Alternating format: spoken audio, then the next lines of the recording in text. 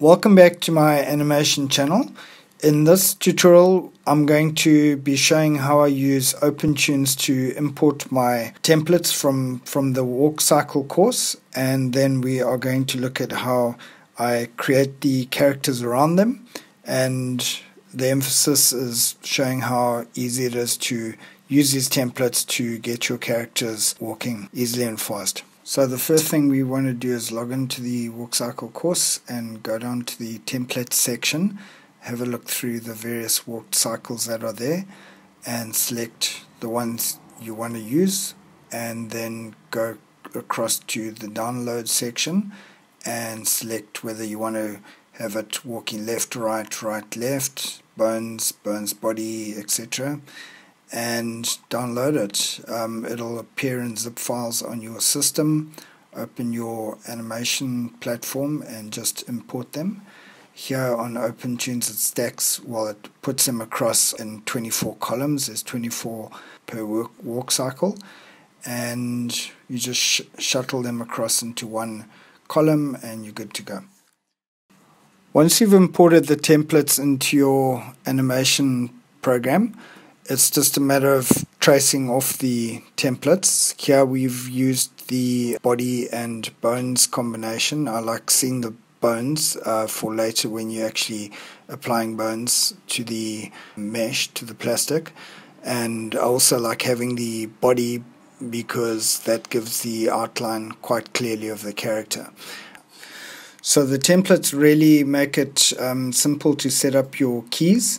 Um, you don't have to do all 24 frames. It depends how you're animating this. But um, everything's set up ready to go, and it's just a matter of tracing your character around it. So in this instance, in OpenToonz, I'm using plastic to animate this character. What I've done is put every all the body parts on different layers or columns, and uh, it makes it easier to use the plastic tool which we'll be doing shortly. So separate all the body parts. We've got the legs left and right on each column, uh, in its own column, and uh, arms, the head, and the body, the core, each in its own column or layer. So once you've applied the plastic tool and all the body parts have a mesh transformation applied to them, we go back and we apply the bones that will control the mesh and that's what we're doing here. The character is set up ready to animate and it's a case of running through the X sheet and you can decide either you want to do it cell by cell or use keyframes.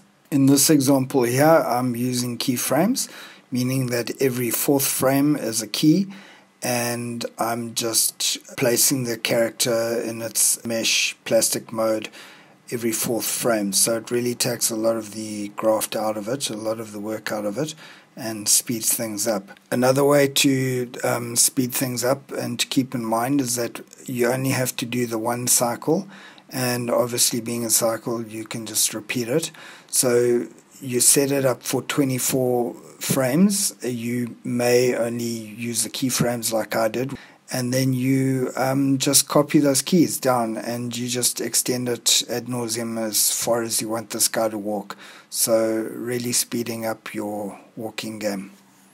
Also, the time it's saving you to put the walk down, you could be spending coming back to do some secondary animation on the character, like we're doing here with the hands, and tweaking the head, etc., etc. So really saving a lot of time that you could be spending at other places.